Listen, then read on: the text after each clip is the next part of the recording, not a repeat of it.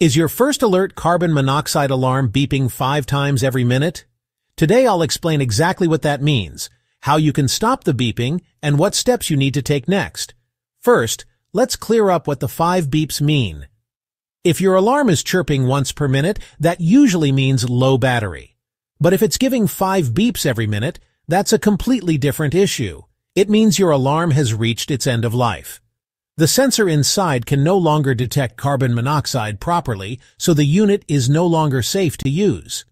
Replacing the batteries won't fix this. Most First Alert CO alarms last 5 to 7 years, and newer ones can last up to 10 years. Flip your alarm over and look for the manufacture date printed on the back.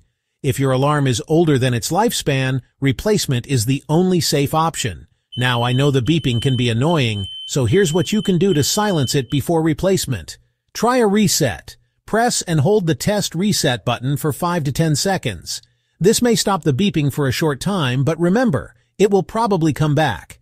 Disable the alarm permanently.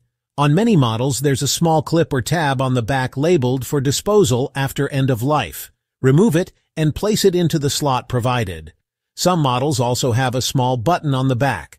You can move it from the activation side to the deactivation side by using a small tool or pin to turn it off completely.